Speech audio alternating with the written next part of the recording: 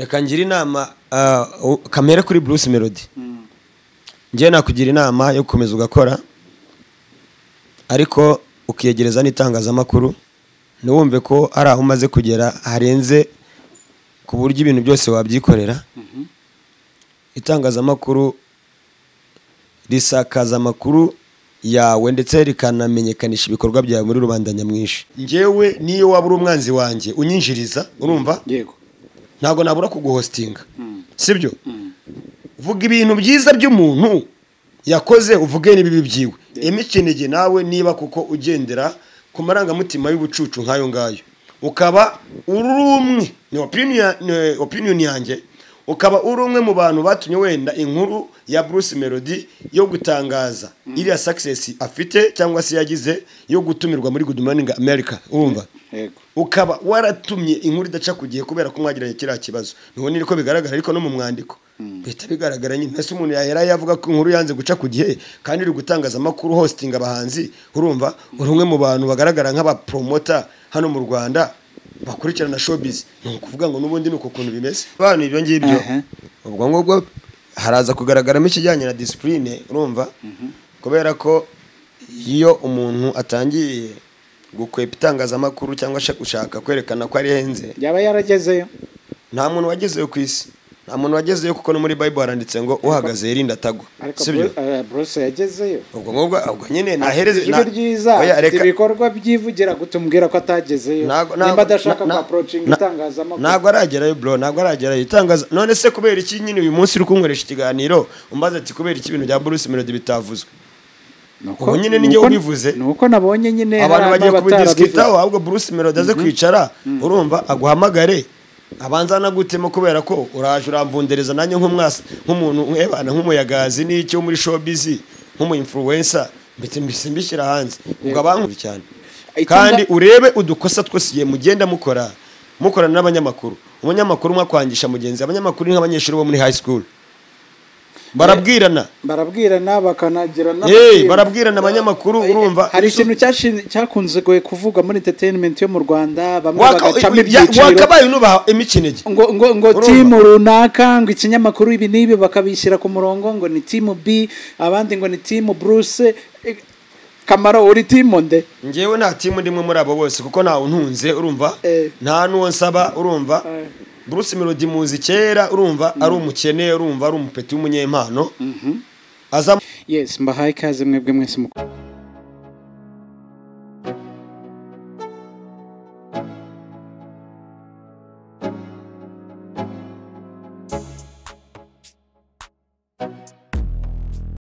mukurikiye 5 generation tv ndabashimiye cyane kuba mwaraduhisemo. Natwe tuzajya tubaha show after show.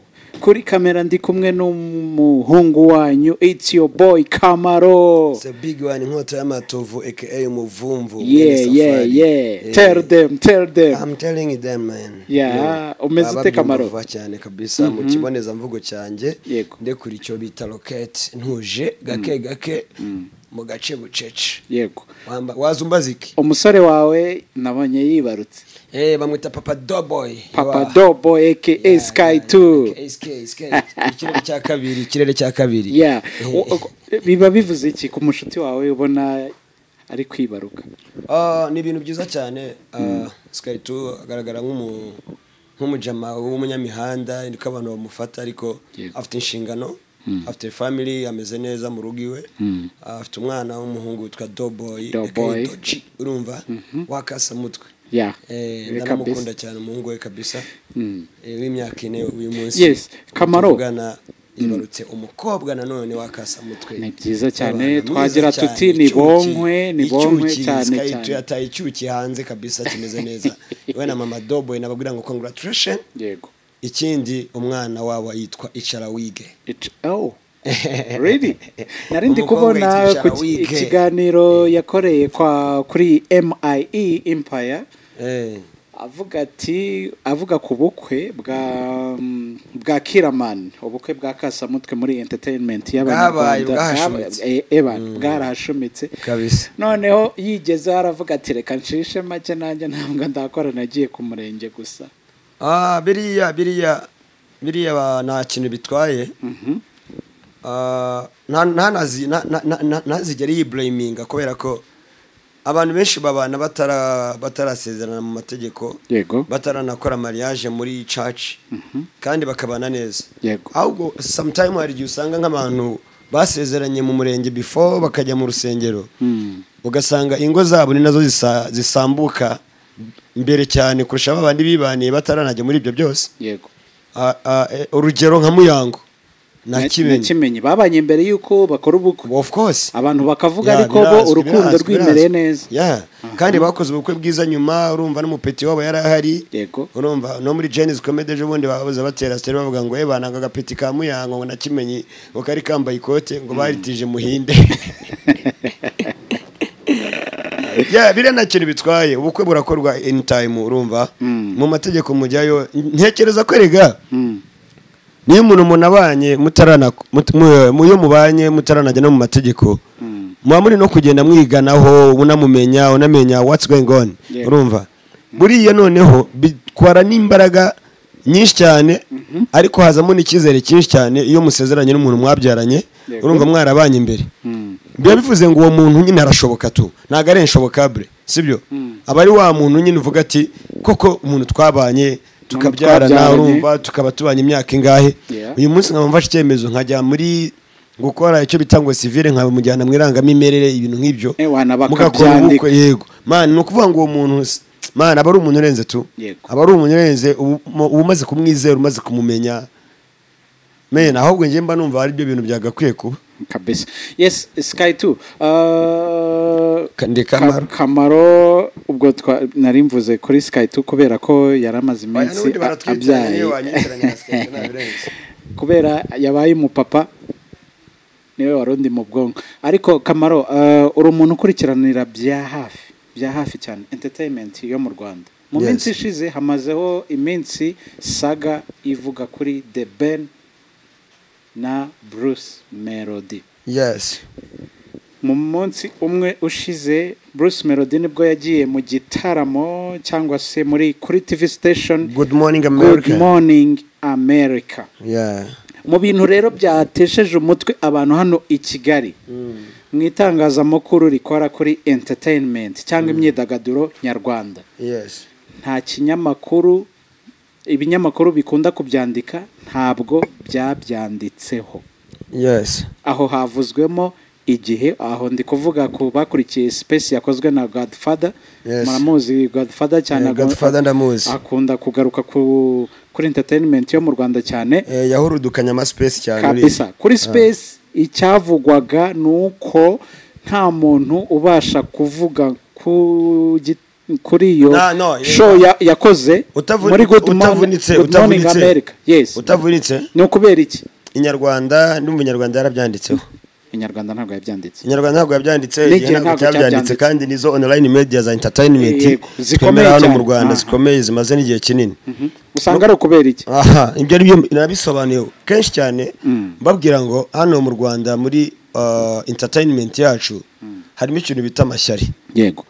Ni ukuvuga ngo uyu munsi tuvugana bino bintu mufata nk'aho ari ibintu byoroshye hagati ya. Bruce Melody na Yego. ni ibintu bikomeye cyane ku rwego mwebwe mudashobora kwimagina. Bruce Melody agiye muri Amerika. Ajya muri Good Morning America sibyo? Ben asigaye mu Rwanda. Bruce yakoze ikiganiro before agiye kugenda na Coach Gael yego. Bavuga kuri eh, ku rugendo rwabo bavuga ndetse no kuri iyo success bagize Yego. yo kuba baba invited hariya hantu kandi ari ahantu haba harenze hanubaka platform yabo. Yego. The Ben yasigaye areba kiriya kiganiro ndatekereza ko views nyinshi cyane ni za The Ben. Mm. kuri analysis yanjye cyangwa se opinion yanjye nk'umuntu w'umusesenguzi wo muri entertainment ubimazemo igihe yego. washyizeho n'itafari kuri entertainment yacu cyangwa se showbiz yo mu Rwanda. Nta kuntu The Ben yari kuba yicaye urumva? Ahangaha Bruce Melody ari muri Amerika. Ngo inyarwanda n'igihe byandike story yande ya Bruce Melody. For real. None se. Ah, abanyamakuru ah, bandikira igihe. Nashakaga kubihuza. Eh. this is not about bruce melody. This is not about 155 Five, yes. am yes. This is about flag of rwanda. Yasohokeye igihugu cy'u rwanda jama yagiye apepera ibendera ry'u Rwanda. kubera iki batamwandikaho kubera iki batabivugaho nk'ibinyamakuru bikomeye bikora entertainment mu Rwanda. ibaze nawe. Ikinyamakuru nka j.com tujya tubona amakipe nimba ufana reyo nimba ufana apera i don't care. Cyangwa any team uri inyuma ariko iyo bigeze kuvuga ngo ni Eh, buri muntu wese aba ari inyuma y'Amavubi, rwanda. Yahagarariye igihugu. Kubera iki? nimba umuhanzi yahagurutse Eh. agafata indege. Twibutse abantu yuko visa yahawe. It's not just visa. Ntabwo ari visa isanzwe. Ni visa y'icyubahiro. Y'umuhanzi kuki batabyandikaho? Muri entertainment yo mu Oya, rwanda. bamwe bakavuga ko Eh. ndagira ngo gashyireho umucyo Eh. yuko bruce melody akunda kwishongora ku itangazamakuru. Itangazamakuru naryo rikaba ryarafashe mbarigo yuko rigomba kumuboroka ahantu hose mu itangazamakuru ko nta nkuru izajya ici ibaca mu rihumye itangaza ibikorwa bya bruce melody na coach gael umva ukuntu bimeze rero. Koce gaheri ibyo bintu azabikora kubera amafaranga. Abanyamakuru bo mu rwanda benshi murashonje murabizi. Nta mafaranga mufite ngo bakorera agacumi. Eh, ni ukuvuga ngo akabahasha kaba karimo 10k 15k urumva? Ama press conference y'ibintu n'amanama Iyo abaye byose menshi biba, urumva? 20. na iyo abaye menshi aba ari makumyabiri. Ariko nanone umunyamakuru ushinzwe cyangwa se wateguye iyo press conference nka ba Ru- rukumani nzeyimana. Aba afite ako kajana urumva ako karya itanu urumva ese ubundi kamubaze njyewe nanako reka nibaze. Tukiri aho reka tubihuze n'iki ngiki mbere y'uko nsubiza icyo ngicyo. Eh. hari umunyamakuru ntashatse kuvuga izina godfather yahamagaye. Mu kiganiro aramubaza bati kuki success y'umuhanzi w'umunyarwanda mutayipositinze kandi uh, platform zanyu. Muri aba social media influencer. Bikurikirwa n'abantu benshi. Kuki mutabipositinze umunyamakuru mu magambo ye arasubiza ati ntabwo njye nshinzwe kwamamaza ibikorwa bya Bruce Melody. Cyangwa se bya 155 umunyamakuru abivuze ninde? Oya. Reka tubye twe ku- kubyinjiramo kubera iki? Oya. Jihadi nawe rega ntawe utabona ibyo Bruce bamwe baravuga bati ni gute ibikorwa bya Bruce Melody ntabwo yigeze yegera itangazamakuru? Oya umva ukuntu byagenze. Aha. bruce melody uyu munsi ubu- tuvugana nonaha 155m sibyo bafite uh, aud- editorial line yabo yuko bazajya bacisha ibiganiro byose n'inkuru zabo kuri cano yabo. Kuri MIS kwajya akorana ibiganiro kuri MRNS ubwo ushobora gusanga kiriya kiganiro yakoze ukagira ni cyo umva cyane izingiro ry'ikibazo kamaro. Mhm. ubushize ubwo aheruka muri amerika. Agaruka nta munyamakuru yagiye kumwakira baragiye kumwakira abirataho aravuga ngo nta interview abaha. Ntabwo yabivuze gutyo ariko yabiriyeho. Nabo bahita ba- bavuga ko bagomba kumufungira bagomba kumubana. Umva se umva se umva Aha, mubwire wowe eh, yego. wowe ikintu ugomba kumenya ni kimwe. Bruce melody niba koko niba koko Eh, atangiye kujya yishongora ku banyamakuru. Agenda ajya kuganira n'umuniga bita Mr Nice wo muri Tanzania amubaza ibyamubayeho. Niba koko atangiye kwishongora ku banyamakuru agenda ajya kubaza tekino wo muri Nigeria urumva? Bicare baganire amubwire. Urumva? Eh ikintu cyamubayeho nyuma y'uko yishongoye ku itangazamakuru. Mr Nice yari umuntu urenze muri Tanzania. Yari umuntu wari umaze gufata kano karere ka East Africa. Ku muziki we mwiza cyane. No muri west africa n'ahandi sibyo ariko ikosa rimwe yakoze gusa. Ni ugusuzugura abanyamakuru urumva? Akabita stupid urumva? Agafata abanyamakuru akabereka ko nta kintu bavuze we ari we muntu wigize. Urumva ko abanyamakuru bamukeneye we atabakeneye. Iyo uribuka nyakwigendera jay paul. Ibyamubayeho. Jay paul ubwo yitaga abanyamakuru ngo ni amadebe. Urumva atutse umuwo bita arisudi ukunze muri ino minsi kugaragara, cyane kuri murandasi ariko akaba yarabaye n'umunyamakuru wa station zitandukanye. Wakoreye sarusi urumva? Akorera isango urumva? Ndetse akaba ari n'umwe mu bantu bashyizeho itafari kuri industry yo mu rwanda navuga ko uza ku nkingi ya mwamba. bamushinja yuko hari n'ibyo yashenye. Okay ntacyo wenda hari byashenye ariko yubatse byinshi. Umunsi jay polly. Tukiri aho kuri arisudi turagaruka ku bahanzi cyangwa abantu bari muri entertainment yo mu rwanda mu myaka yashize. Ubu bakaba babarizwa muri leta zunze ubumwe za amerika. Aho hose ku ma yabo. Nta na hamwe bigeze bapostinga igikorwa cy'umuhungu bruce melody. Bruce melody yigeze akora. usanga ari ukubera iki? ahangaha it's not about bruce melody. Nabikubwiye kuva mbere. Eh. ahangaha afashe ibendera ry'igihugu. Good morning america. Ni imwe muri show irebwa muri state cyangwa muri leta mirongo itanu zigize amerika oya nyine umva nkubwire. Bruce melody arashinjwa kwishongora no kwishyira hejuru. Kandi abanyamakuru bo mu rwanda nabo ni abafungamutwe iyo uberetse yuko uri umuntu uri hejuru cyane bagucisha bugufi. Uri kubyumva? Nicyo kintu cyabaye kuri jay jay adasaba imbabazi ngo abitwa ba bubu mushyoma urumva? Bamusabira imbabazi urumva? Mushyoma arazwi ni umuntu utegura primus guma guma superstar. Uyu munsi asigaye ategura iwacu na muzika n'ibiki urumva? Iwacu Muzika Festival. akaba ari nawe muntu utegura show iba kuri tariki ya mbere y'ukwa mbere bita east african party nubwo uyu mwaka ushize itabaye. Eh, abantu uyu mwaka. barabizi cyane. No muri Gu- guma mu rugo ba- baduhaye show cyane. Yego. Uwo abo ba mushyoma iyo bataza gusabira uwo bita kabaka w'abadongo jay paul Eh, ntabwo yari kugaruka ngo akore comeback ibe nziza. Iyo kesi uvuga yigeze noneho ngira inama gato cyane. Mm. bruce melody. Ndetse n'abafana ba bruce melody. Mumusangiza ibitekerezo kuri platform ziwe cyangwa se kuri social media akoresha ababasha kwaccessi- kwa- kwaccessinga kuri izo social media. Mumubwire ngo icara wige mugani wa sikayito mumubwire ngo uri umuhanzi w'umunyempano uri umuhanzi urumva ukora ugaragaza eh, umusaruro ndetse unatuma abanyarwanda bishima. Ariko this time ntuzumve ko wihagije ngo ukwepe itangazamakuru use nkaho urikitaho mu gatoya kubera ko itangazamakuru baryita quatrième pouvoir urumva mu butegetsi bwa kane. Eh, urumva rero ko rifite imbaraga nyinshi cyane. Yego.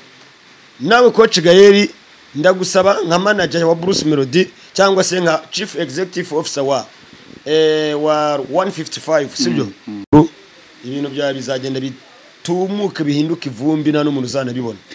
Noneho reka tugaruke kuri iki kintu. None Reka- ukanye ku banyamakuru bo mu rwanda reka- reka- buretse. Gato mbagarukeho uraje ubihuze. Reka tuvuge ko ibyo byose byabaye yabiriyeho yabiraseho adashaka kuvuga rumwe nabo cyangwa se atabaha akantu nk'uko bamwe bakunda kubivuga ah, cyangwa se atari friendly cyangwa adaciringa nabo nk'uko babivuga. Ariko bruce melody ntabwo aciringa. Buriya coach gayeri araciringa abantu bo muri 155 baciringa ndabazi. Bruce melody ntarimo urumva? Ntabwo mwasangira n'aba banyamakuru ntabwo basangira. Yabana atambuka yinjira muri Range Rover yigendera ajya muri gahunda ziwe. Ni byiza pe ni byiza kuko umusaruro turawubona. Aba yabaye busy kubera ko aba ari gu- ari gutegura product yagiye guhereza abanyarwanda kandi ikaza imeze neza. Ariko nanone agomba kwiga ikintu bita social life. Uri kubyumva? Twabonye gukora cyane without social life. twabonye tutagiye muri amerika. tubona, hano hirya tubona Yeah. hano hirya umuhungu wa museveni perezida wa, uganda uh, kaine rugaba.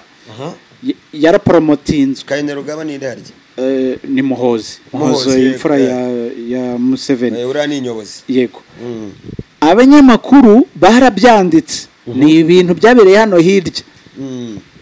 Kuki batibanze kujya ngo aho ngaho umunyarwanda ari? Barebe ibikorwa yakoze. Reka turebe muri positive way. Ni ukuvuga ngo abantu banditse inkuru za muhozi bibagirwa iza bruce melody. Ah, why? Ni ukubera iki? Sha muhozi se ko ari umuyobozi? Urumva? Ni umuyobozi mu bugande ni umuntu urenze bruce melody ni uwacu ni umunyarwanda yabaye successful. Yazamuye ibendera ry'igihugu cy'u rwanda why not? Ushobora gusanga muhozi yakoze indirimbo urumva izatwika kurusha ibikorwa bya bruce melody. Oya nta ndirimbo yakoze. Ah, ariko ubwo papa nari afite nguhaye indirimbo. Yanayikora papa wese ntafite indirimbo. Nari nguhaye impamvu impamvu aba abanyamakuru batanze ngo ese tuzandika inkuru duhereye kuki amafoto tuzayakura he? Tuzajya gushaka inkuru. We yakagombye kutwaporocinga aka- akatubwira ati ibikorwa bigiye gukurikira ni ibi. Ndushimira cyane the new times. The new times ni cyo kinyamakuru cyafashe iya mbere mbere y'uko good morning america iba kirapositinga kirabyandika biri kuba kirabikora na nyuma yaho kirabivuga. Kubera na- iki? Na- na abantu Bruce Melody ajya kugendana hano mu Rwanda cano yamwanditse ntabwo ari cano iri kuri platform nziza. Ni iyihe se ni iyihe hari cano nabonye yamuvuzeho eh, yakozeho interview urumva? Itari MIA ko ariyo bakunda gukorana cyane bya hafi. Ikiganiro ntabwo nakibonye kuri MIE ni ho nakibonye ra oya hari ukuntu ducana tujya gera- tugera gutya tugafata ibiganiro. Oya nta gacano ntabwo nzi ako ariko niba cya- cyangwa simbizi ntabwo nabikurikiranye neza ariko ntabwo bigeze banabivuga reka tuve kuri cano noneho tujye ku, ku, ku binyamakuru byandika ibi ngibi bifite erega erega. eh, mba platform ziri hejuru kamaro. mba nkubwire eh, Jerry. Ikintu ugomba kumenya ni iki ngiki? Aha uko wabikomotojeho Bruce Melody urumva? Anabimenye. Iyo ugiye outside muri amerika urumva? Haba hari abanyamakuru ba entertainment yari b'abanyarwanda b'abambasaderi ba showbiz yo mu rwanda. Nabivuzeho. Ni ukuvuga ngo ushobora kujya in touch nabo ukabona bapudetinga ibikorwa byawe n'ibyo ugiye gukora. Noneho nabo bakadusangiza iki? Bakadusangiza abanyamakuru bo muri media y'ahangaha iwacu. Urumva Local- ibyo bikorwa local- byawe yego. Ariko ahubwo niba- sinibaza ko hari na roko media kuko ikinyamakuru kigera kure. dufite ababloga hariya dufite ba Dumba bari muri Canada dufite abo ba Godfather bari muri Amerika Dufite Ari dufite ba Sugi nawe Jay ari Squeezy, muri Amerika. dufite bariya ba Dekati urumva? Abantu bari muri Amerika ni benshi kandi ba bloga bakurikirana buri kintu cyose kijyanye na ni ukubera entertainment iki batisanze muri kesi ya Bruce Melody batisanze ah, kuri uyu muhungu Bruce Melody kandi ari gukora ibintu Melody- Bruce Melody araza kwicara yige. Ubundi baravuga ngo we learn to mistakes cyangwa se we learn for the mistake. Nawe nareba ahantu ibintu biri gupfira urumva agira ikintu amenya ariko ikindi kintu ngiye ngarukaho gatoya n'abanyamakuru bo mu rwanda natwe ntabwo turi shyashya. Cyangwa se abantu bakwirakwiza amakuru b'aba influencer sibyo social media influencer ya aba social media influencer urumva? Tuba dushaka kurya before niko dukora. Buriya ntugire ngo gayeri yahagurutse ajyanye umuntu muri good morning america urumva? Ahantu hahuriye ibyamamare bitandukanye harimo bashagi n'abandi bantu baba ba- bari update cyane muri iyi minsi muri amerika urumva? Ngo asize itangazamakuru atababwiye ngo dukore aga press conference kuri ibi bintu urumva? Anabatemo bya biza 15k nyine abatamo nu- cyangwa se makumyabiri urumva? Ngo ugire ngo inkuru bazayikwirakwiza. None se bo batunzwe n'iki? Ese umunyamamakuru azirirwa kuvuga azagenda abishyire mu isafuriya. It's a pride of, of Rwanda. Ariko oya Yeah. Na- no, no. Why not? ariko mva nkubwire aho ngaho aho ngaho ariko reka nsubire mu mwandiko neza nanjye noneho. Ariko kamaro ubu uzareka kuvuga ibyiza by'igihugu ngo nta nyungu uri bubikuremo kandi hari umuntu wakoze neza akazamura ibendera none se ry'igihugu Bruce Melody yaragiye muri Rwanda Day? Ntabwo yagiye muri rwanda day. Yagiye ariko yaserukiye igihugu kuri Yego, iri hejuru mpuzamahanga. yego, ndabyumva ariko Aha. hariya yagiye Yeah. yagiye yagiye by'umwihariko aharanira inyungu ziwe. Uri kubyumva mbere y'uko aharanira iziwe Eh. reka turebe. All the way from rwanda. Muri interview all the way from rwanda. Nyine. ibyo bivuze iki? Ntabwo uri gutuma mbisobanura neza. Ah, okay, ngo haye umwanya. Aha. Bruce Melody yagiye by'umwihariko aharanira inyungu ziwe ndetse n'inyungu za 155 sibyo? Ni ukuvuga ngo we yagombye gutera iya mbere n'abo banyarwanda bakaza kumusapotinga nubwo bwose bifite ishema kuri twebwe abanyarwanda. Urumva? Yego. nawe ubwe ku giti cyiwe na management yiwe azi income agiye kubona. Rero icyo wamenyereje abanyamakuru cyo kubatamo urumva? Giti mu jisho urumva? Ugomba kugira gutya ukamanyiraho gatoya nyine ukabatamika utabatamitse bahita bahanenya. Ntabwo yabibonye se ko bahaneye. Birakwiye. Birakwiye ko kigali rero nicare yige urumva amenye umwandika umwandiko agomba gukora. Eh? hari umunyamakuru umwe wo ku gihe bita emi ikinege. Niwe uh, ukunda gukora ku nkuru cyane za entertainment yo mu rwanda ndetse yari amaze n'igihe kinini afitanye bifu na bruce melody. Aha naho nshaka kuganisha. Eh. Ni ukubera iki? Ni ukubera iki ibi bintu bikunda kuzamo bifu ntabwo rero bruce melody inkuru ye yari guca ku gihe kandi uyu munsi tuvugana ubu tuvugana uwitwa emi kinege urumva bisa nkaho ari we muntu uyoboye entertainment yo mu gihe. Ikibazo bagiranye cyabaye kinini ku buryo hari hagiye ku- bari bagiye no kujyana mu mategeko sibyo ibyo byarabaye. Nta muntu utabizi mu bakurikirana showbiz. Uri kubyumva? Ubwo bruce melody koko yari ategereje inkuru ku gihe? Ariko nanone to be professional njyewe niyo waba uri umwanzi wanjye unyinjiriza urumva? Yego. Ntabwo nabura kuguhostinga. Sibyo? Vuga ibintu byiza by'umuntu yakoze uvuge n'ibibi byiwe. Imikinigi nawe niba kuko ugendera ku marangamutima y'ubucucu nk'ayo ngayo. Ukaba uri umwe. Ni opinion ni opinion yanjye. Ukaba uri umwe mu bantu batumye wenda inkuru ya Bruce Melody yo gutangaza. Iriya success afite cyangwa se yagize yo gutumirwa muri Good Morning America urumva? Ukaba waratumye inkuru idaca ku gihe kubera ko mwagiranye kiriya kibazo. Nubona ko bigaragara ariko no mu mwandiko. Bihita bigaragara nyine. Ese umuntu yahera yavuga ko inkuru yanze guca ku gihe kandi uri gutangaza amakuru hosting abahanzi urumva? Uri umwe mu bantu bagaragara nk'abapromota hano mu rwanda. Bakurikirana showbiz ni ukuvuga ngo n'ubundi ni uko kuntu bimeze. Uretse ko nibazaga impamvu batabyanditse reka turebe noneho ku nyungu ku nyungu zo kuri Bruce Melody. Hari icyo atakaza kuko batabyanditse? Aragitakaza. Aragitakaza rega buriya ntugasuzugura umuntu wese ugufasha kwamamaza ibikorwa byawe. Kabone niyo yaba akurikirwa n'abantu cumi na batanu niyo yaba afite masike yo kuri facebook urumva? Niyo yaba ari like niyo yaba ari mani ikintu cyose umuntu akoze aba ashyizeho itafari. Mani bigusubiza inyuma tu bigusubiza inyuma. Niyo si itangazamakuru ritakuvuze ibikorwa byawe wabisakaza mu bantu muri rubanda- nyamwinshi gute? Eh? ugomba kuvugwa. Umuntu wese ushyizeho itafari hari ikintu yongera kuki kuri platform yawe. Aba- ntabwo ubizi? Ndabyumva. Abanyamakuru bitega iki kuri Bruce Melody aracyari mu bita mu bitaramo bye cyangwa se muri tour we na Shaggy muri mu- muri Amerika. Ntabwo ari ibyo byonyine afite Bari uh, muri content- provinces zigiye zitandukanye, ari muri ndabizi, content nyinshi yagiye yerekana imihanda ya New York ukuntu imeze ni ubuzima bwaho bw'abahaba ukuntu bimeze. Ubona ari ukubera iki we atashatse kwa approaching abanyamakuru ngo batangaze ibikorwa bye. Ari amafoto n'udushoti videos cyangwa video zose bazisanga kuri platform ye. Buriya ushobora gusanga wenda urumva Melody yaravuze ati ndi muri Good Morning America ariko wenda ubwo ni ingaruka nzakora icyo bita waramutse Rwanda urumva? Haba hariho wenda ibintu byanjye mbigaragariza reka tumutegereze urumva. Ariko turamutegereza gute kandi ubushize yaraje akabima interview. Bro abanyamakuru bamuhereye bamutegereje amasaha hafi cumi n'angahe. Bari ku kibuga cy'indege. Akaza mu masaha ya saa munani zishyira saa cyenda. Bamutegereje kuva saa moya za nimugoroba. Akababwira ngo nta interview mbaha. Bro. Ubwo Icyo kintu- izi kintu bisobanuye ibyo ngibyo. Ubwo ngubwo haraza kugaragaramo ikijyanye na disipurine urumva?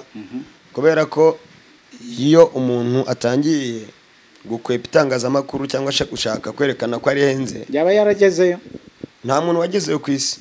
Nta muntu wagezeyo kuko no muri bayibule haranditse ngo uhagaze yirinda atagwa. sibyo? Bru- eh, Bruce yagezeyo. Ubwo ngubwo ubwo nyine nahereze ijwi na- ryiza afite ibikorwa byivugira gutumbwira ko atagezeyo? Nimba adashaka na- kwa approaching na- itangazamakuru. ntabwo aragerayo bro ntabwo aragerayo. Itangaza none se kubera iki nyine uyu munsi uri kunkoresha ikiganiro? Umbaza ati kubera iki ibintu bya Bruce Melody bitavuzwe? Ubu nyine nijye nuko- ubivuze. nuko nabonye nyine abantu bagiye kubidisikitaho ahubwo Bruce Melody aze kwicara urumva aguhamagare. Abanza anagutemo kubera ko uraje uramvundereza nanjye nk'umwasi nk'umuntu ebana nk'umuyagazi n'icyo muri showbiz nk'umu influencer mbese mbishyira hanze. Ubwo abankurikira nyine bagiye kubimenya ariko abakurikira izindi platform ntabwo bari bubimenye batabikuye hehe batabikuye kuri 5G Yego. sibyo? Ariko byo yicare yige. Itangazamakuru iyo ubashije kurikinisha cyangwa se ugatangira kurisuzugura ibikorwa byawe barabidindiza kandi umusaruro mukeya niwo ubona kurusha umusaruro mwinshi. Yes tugana ku musozo kamaro. Uko biri kose umuhanzi ntabwo yigira inama. Aba afite management team abamugira inama abamuha ibitekerezo abamuha amafaranga usanga ari ibitekerezo bwite bya Bruce Melody bituma adashaka kwegera itangazamakuru cyangwa na management twayishyiraho amakosa. Eh, aho ngaho bituruka muri management. Kubera ko ari nk'ikintu bambajije ejo bundi mu kiganiro ngo iyo, ikosa ryabaye ubushize ubwo The Ben yatangaga interview yari yaranze gutanga interview. Yego ngo byaturutse mu bajyanama be ndetse bagaruka no kuri Alex Muyoboke. Mm. ngo ni gute mwemereye The Ben gukora ikiganiro akavugamo Bruce Melody yari yarabyanze? Ngo nyuma hakamurekuriraho roketi urumva agiye muri Good Morning America. Mm. kuko ushobora gusanga hari agakosa bakoze. Aho ngaho rwose biba biri under management. Uba ugomba kumanaginga icyo kintu ukamanaginga uburyo umuntu ari buze kwentitayininga abantu iyo product yawe. Urumva ugiye gusohora ukayibwira abantu ariko mwabanje gukora akanama. So iyo rero mugiye gutekereza mukavuga ngo tugiye mu gikorwa iki n'iki ntimuhamagare itangazamakuru ngo mubamenyeshe urumva? Za platform zabazamuye mukazirengagiza.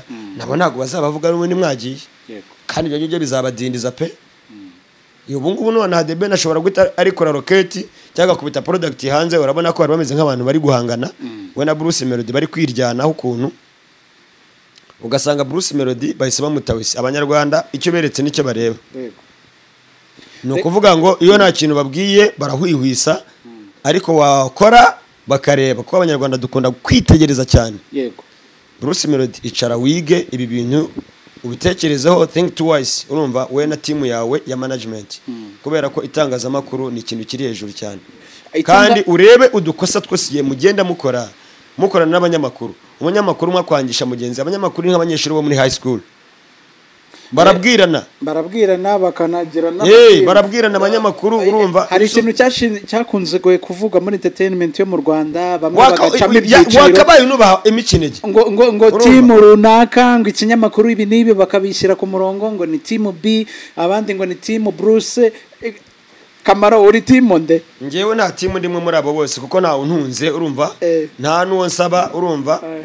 Bruce Melody muzi kera urumva ari umukene urumva ari umupeti w'umunyempano. Aza muri Angira Limited aza gukora indirimbo avuye mu kajagari n'amaguru. Ari kumwe n'abo bita ngo ba Icent Trigger urumva? Afite timu y'abajama bitwa ba Lionel na ba Traxler baba producer. Uri kubyumva.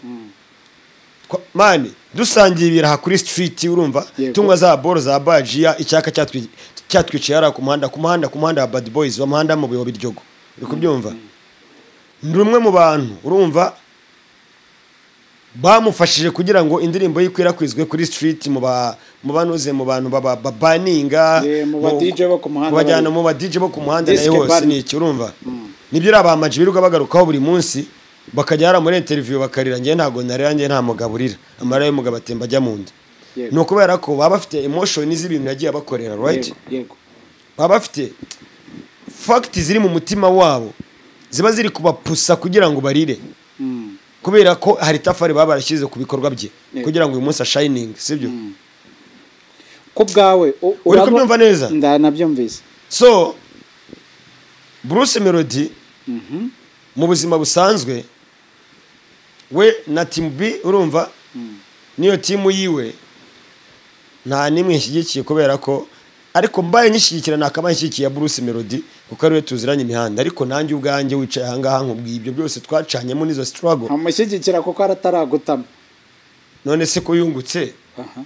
Iyo wungutse usangiza bagenzi bawe. Tujye tuvugisha ukuri. None se ubu ngubu nzishimira kuri kurya amafaranga Eh. urumva ukayarya wenyine. Yego. kandi njyewe narabaye umwe mu bantu bagufashije kugira ngo ayo mafaranga Ibyo uyagereho. niba atanamitse Mwi- se ubwo ngewe yaba amariye iki? Nanjye- wabyibagiwe mwana? na debeni rero nawe nta kintu amariye. Urumva? Ashobora kuba wenda yakora indirimbo nkayikunda. Mhm. Akaba yajya hari agapafominga urumva abantu bakishimira ibikorwa byiwe b'abanyarwanda bose ibyo na byo ni sawa. Ni umusanzu mwiza kuko n'indirimbo ziruhura mu mutwe ziranavura. Ariko niba nanjye atanamitse se njyewe urumva namuvuga neza. Sha buri muntu wese akora ibintu kubera inyungu. Bruce Melody abanyamakuru niba ubona batari kukuvuga ni ukubera ko utari kubatamika. Batamike urumva urebe ko batakuvuga. None se wowe urakomeza urye wenyine abandi bantu bicaye bicisha inzara. None se bazatera kukuvuga gusa? Nta kintu mumariye mwese. Njyewe nkubwize ukuri. Ari we Bruce Melody ari nawe The Ben nta kintu mumariye. Nibura coach Gael we twaranahuye urumva tutanaziranye. Arantamika arambwira ati ngiye nkunda ibiganiro byawe ndakwishimira nk'umu influencer. Biransetsa wowe na Sky yo muri kuvuga. Urumva? Baguhereza akantu ko kunywa y'umwere Yego. ngenda ukore stock mu rugo. Hako Bruce Melody ah, sikundu yishongora uramu yashatse twabyibagiwe reka turebe noneho ah, nk'umusesenguzi ukurikiranira hafi bya muzika nyarwanda wabitangiye kuva kera aba bahanzi bose bahanganye wagiye ubana nabo mu buryo bumwe cyangwa ubundi. Ubona indirimbo ya Bruce Melody na The Ben tugana ku musozo ubona ishoboka? Eh, indirimbo irashoboka. Irashoboka ariko yaba mbi kubera ko bayihanganiramo. Buri umwe wese yarikodinga ashaka kugira ngo yemeze mugenzi we. Uzarebe nk'indirimbo zakozwe n'abahanga benshi featuring zako- zahuriyemo abahanga benshi ntabwo zikunda kuryoha. Niyo mpamvu mu gifaransa bavuga ngo tutekise emuve iyo ibintu birenze biba bibi. The Ben akoranye indirimbo na Bruce Melody. Yarebwa agira views nyinshi kubera abantu bamaze kubafata nk'abantu basa nkaho bahanganye.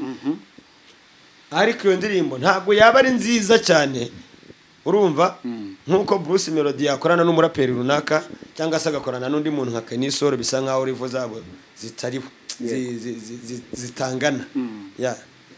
reka turebe noneho tugana ku musozi ikibazo cya nyuma mu mboni yawe ese guhangana muri entertainment birashoboka? Nimba bishoboka bikwiye gukorwa mu buhe buryo kugira ngo entertainment igume yaka ariko na bya na cya cyubahiro cy'umuhanzi kigumeho na za nyungu z'abanyamakuru n'abahanzi zigumeho ariko nanone umuziki uzamuka. Hataza kubamo aggressive cyangwa guhangana bituma yes nakumvishe ukuvuga ngo guhangana ntabwo ari ibintu bibi cyane. Yego. Kuko iyo habayeho competition urumva? Nibwo hagaragara umu wawininze sibyo? Yeah. ahubwo ikosa ntabwo ari iry'abantu bari kureba bari guhangana. Ikosa ni iry'abahangana. Nimuhangane mucuruze. Mureke guhangana biri in deep cyangwa se ngo bizemo n'inzangano. Kuko hatabayeho iryo hangana n'ubundi ntabwo twamenya umuntu ushoboye cyangwa se uwakoze. Nibahangane. The ben ubu tuvugane zisaha. Bruce melody amurusha ibikorwa. Ben ni umunebwe? Ye ni umunebwe. Ya ni umunebwe. None se manete yatuma akora? Yirirwa kuri playstation nk'uko yabyivugiye. Yabyeruriye abanyarwanda ahubwo yaba konfirimye yamaze no kudukonfirima ko ari umunebwe bya nyabyo. Kuko hariya bruce melody nawe nubwo atari shyashya urumva? Ariko arakora. Performance ziwe ziragaragara. Muri secteurs zitandukanye bruce melody arazwi. Urumva? None se uyu munsi niba ari brand ambassador wa arena urumva? Akaba ari gutumirwa muri good morning america akaba afite indirimbo na ba afite amaririmbo na bande. Urumva? Akaba akora indirimbo na shagi the ben uheruka indirimbo ye ryari? He? Ni umunebwe nyine kuri bruce melody. Kuko performance ya bruce melody igaragara cyane kurusha iya the ben. Sibyo? Ariko nanone iryo hangana ryawo ryakabaye ryigisha uwo bita the ben. Agahita avuga ati ariko n'ubundi noneho reka ndeka kugaragara nk'umuntu urenze ariko nta n'ikintu nabatayemo. Akagenda hari akarekura umuzigo. Numvishe ngo ari kwa masitora ngo ari gukora indirimbo na P. Abantu bari barategereje indirimbo na murumuna we. Uwo bita Mpoze nzi urumva? Nyiri bandana. Ni miri bandana. Miri bandana. Eh. ako ni akantu nari ntambitsemo ubwo nari navundereje nyine kuri yego. nza mbakubita iyo roketi munayimenye. Wenda mugende mukore opinion zanyu muvuge si izasohoka imeze iti. Ariko the ben rwose na bruce melody ni muhangane pe. Abanyamakuru bacuruze amastation atandukanye abona ibyo avuga urumva? Ariko n'izo product zanyu zisohoke. Hmm?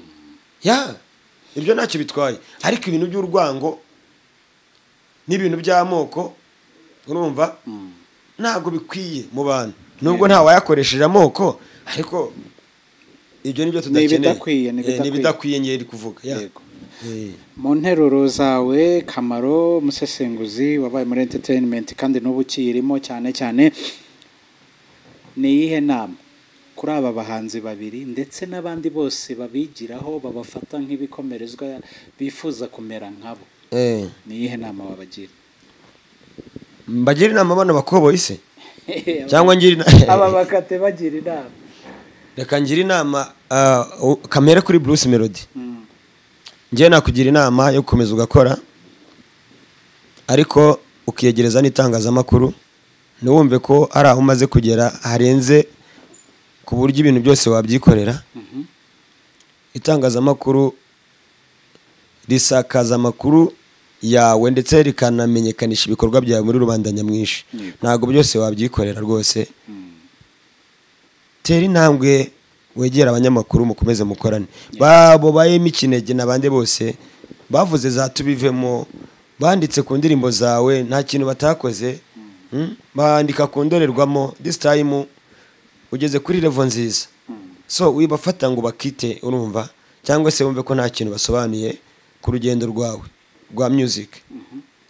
Ya komeza ubiyegereze hanyuma nawe the ben ntabwo tuzatahira kumva ngo uri bogari ngo uri okay niba uri legend uzagenda ukore press conference urumva uteguye uganiriza abanyamakuru n'abanyarwanda bose bagukurikirane babwira uti nahagaritse music. Ntabwo tuzakomeza gukompara na Bruce Melody. Kuko ibikorwa ari kubikora kandi we ntabwo uri kubikora. So icara wige kamaro urakoze cyane ku mboni yawe nk'umuntu w'inararibonye muri entertainment muzika. Urakoze cyane gushyira umusanzu wawe kuri entertainment Sha, nzahora ngushyiraho none nikaragira nyine ubwo indeba kure yanjye iri kunyereka ibyo ngibyo. Yes kamaro ni kamaro kamaro nkota y'amatovu urakoze kumvundereza nyine. Yo yo yo. Fresh fresh.